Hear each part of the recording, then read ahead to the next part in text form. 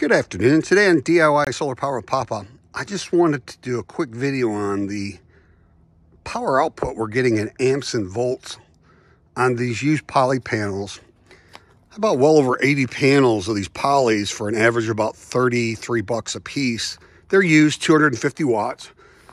I bought these 330 watt for $35 a piece back in December for the Santan solar sidewalk sale. They were 35 bucks a piece for 13 each. So um, that was a pretty good deal to get a $35 330 watt mono panel. And that thing looks brand new. And then we got these for 25 bucks a piece a month after we bought those because nobody wanted them. These are 190 watts and they were really kind of cloudy with um, calcium buildup from water that was on there. In fact, I got some uh, staining on this one over here. We're going to do a read with the voltage and the amps. We got a couple of little spots where we have stuff on them, but just wanted to show you the, the output that I'm getting off of these panels. Right now, on the uh, on these panels, the uh, max, the open circuit voltage is 37.6 and the voltage at Pmax is 30.3. We're actually getting 33.8. So that's a really good output. Um, now, I just picked up this DC, AC-DC amp meter. I don't know if you can tell on there, but it says DC the left, and it says amps A on the bottom. So the way we check this is we disconnect that and we connect the positive and the minus together and we get a loop and it's closed. So on this, it says that we should have short circuit of 8.85 amps, current at Pmax 8.27. So if we look on this, we're getting 9.9 amps on that side, and we're getting 9 amps out of this thing, and it's supposed to be giving us 8.85, and that's a used poly panel. so that's a pretty good output on that. We can't complain on that. That's why I have over 80 of these things.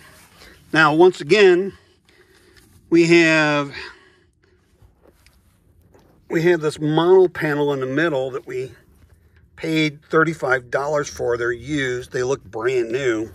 And we're getting 36.4 amps out of that. And on this, it says it should be 34.4 and then um, 41.3. We're getting 36. Let's see what our amps are on that. So connect those together temporarily. And let's put our meter. There is a positive and a negative side. Oops. So we're getting almost 11 amps out of this. And we're supposed to be getting 10.24, uh, 9.6 and 10.24. And when we look at that, we're getting over 10 amps on that. These are used panels. They're probably three to five years old. You cannot go wrong on that. That was a great deal I got on those. I bought 13 of those at 35 bucks a piece.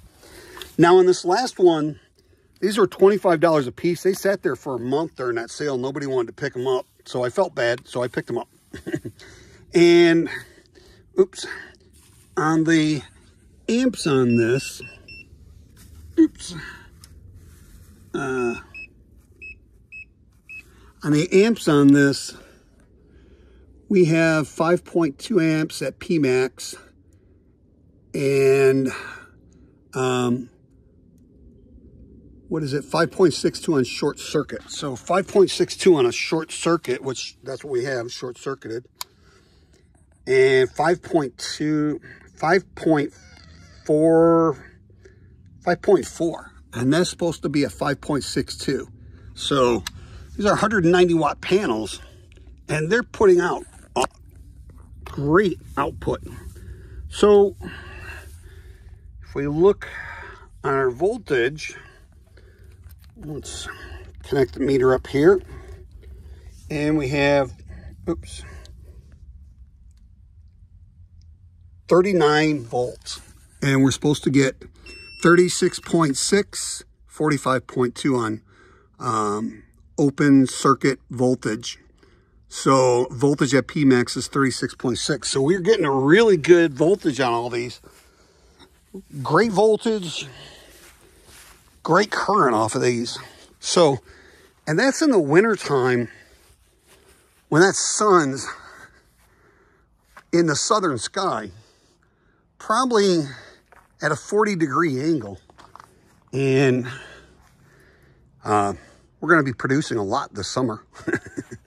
so, but I really like the performance off these panels.